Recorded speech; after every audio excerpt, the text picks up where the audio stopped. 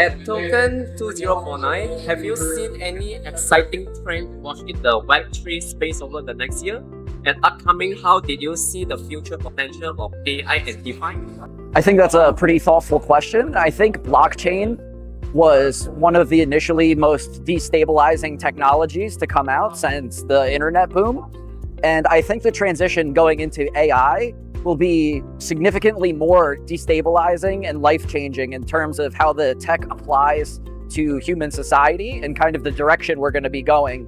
So, in terms of a specific trend, I'm not really sure which one in the micro niche is going to be the most relevant, but I think broadly, AI is going to revolutionize humanity, and blockchain is just going to be a brick in the road of AI.